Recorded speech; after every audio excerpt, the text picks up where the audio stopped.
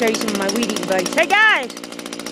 You want to be on camera? Come here! I said, Mama, what you got going on in your hands? There's my spinner, and there's my patchy girl. Look, I'm weed eating. You don't recognize the yard, do you? Finally got to it.